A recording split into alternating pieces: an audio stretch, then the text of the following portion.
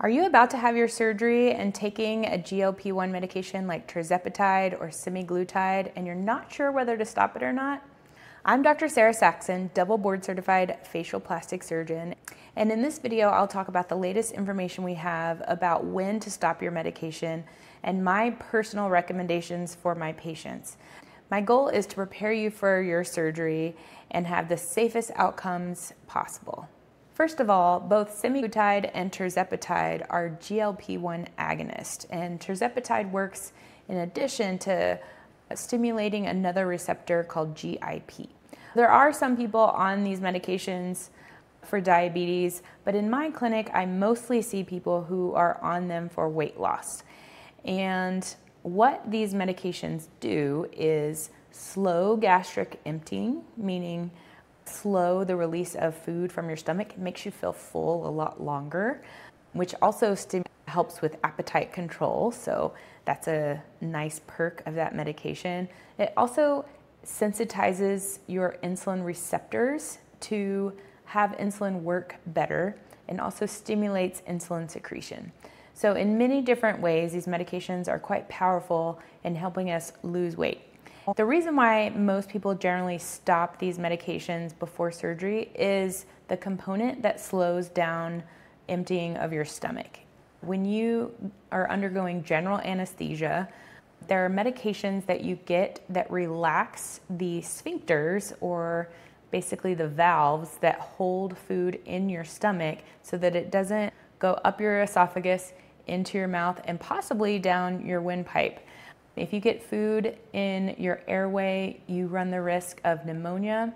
And this we find is a risk with medications like tirzepatide because even though we tell you not to eat or drink anything after midnight the night before surgery, if you have tirzepatide in your system, it may not give you time for your stomach to empty before your surgery. Most ambulatory surgery centers and anesthesiologists are recommending that you stop tirzepatide and semaglutide about a week before your surgery. And that allows enough of the medication to get out of your system to where your stomach can have the better opportunity of emptying. Now, the half life of tirzepatide is five days, so technically it's still in your system about a month.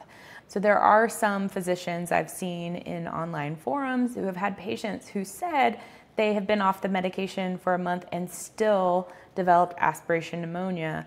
So there's a lot that we don't know about this medication, and we don't have a lot of data with large numbers of patients quite yet. So, where are we at with the data? There was a study that came out in late 2024 from the American Society of Anesthesiologists pointing out that there's some nuance in the risk of being on these medications and having elective surgery. One is that if you're in a ramp up phase, meaning you're increasing the dose week by week or month by month, you're at increased risk of having reflux of gastric contents at the time of your surgery.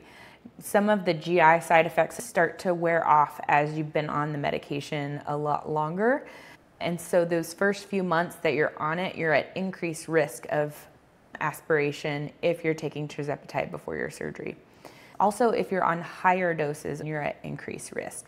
So, if you've been on the medication long term and you're at a stable dose, or if you're on a maintenance low dose, you're at less risk than someone who is at a high dose or is ramping up their dosing.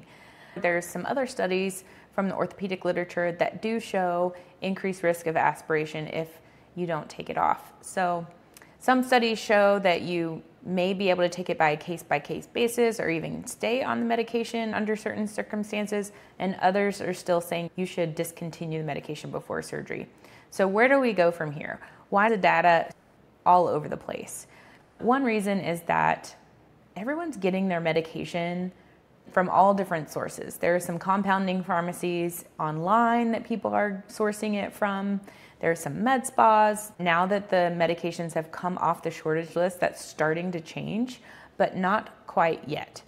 I think that we don't have a good understanding of exactly what the patient is taking because some people are also even managing their doses themselves, which is a little scary.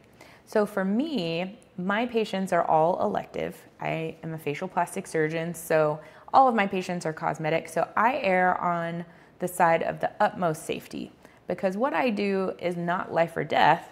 I want to eliminate as many risks as possible. I don't want to overburden a patient by overly aggressive guidelines, but I also don't want to be on the more conservative side either. So for me, I have all of my patients stop either tirzepatide or semaglutide about two weeks before surgery. Now, like I said, the half life is five days, so you're still gonna have medication in your system, but enough has worn off at that point to where I feel safe performing surgery on you. So I've reached some of my own conclusions in reviewing the literature recently. And for me, if you're having an elective cosmetic procedure, I would stop the medication between two and four weeks before your surgery, especially if you don't have diabetes. If you do have diabetes and you need it to control your blood sugar, if you're on a stable dose, then there is likelihood that you could stay on your medication. But the safest thing would be to bridge to a different diabetes medication prior to your surgery that's shorter acting. Now, if you have an emergency, say you get in a car accident or you are in the hospital and need to go straight to the operating room for whatever reason, I don't want you to be nervous about taking this medication. There are ways that anesthesiologists can change how they're inducing anesthesia to keep it a little bit safer, even though you might be on a higher dose. I hope this sheds some light and clarity on the situation. I love both tirzepatide and semaglutide. I've had a lot of patients have quite significant success with it. And working with you to manage those medications in and around your surgery time is very important for me because I want you to continue to be successful.